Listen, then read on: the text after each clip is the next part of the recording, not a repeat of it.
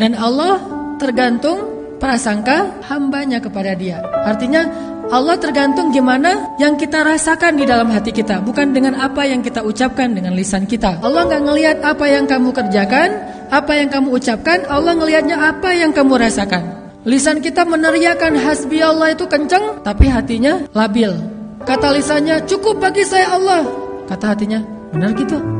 Kata lisannya cukup bagi saya Allah, la haula wala quwata illa billah. Hatinya bilang tapi kan jadi yang berbicara dengan Allah ke langit ketujuh itu bukan lisan kita.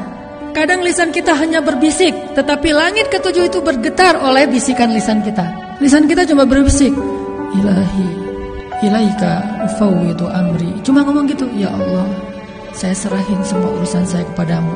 Mungkin teman kita di sebelah juga nggak dengar, tapi kalau yang berbicara itu adalah hati, maka arash Allah itu akan bergetar. Arash Allah itu akan bergetar.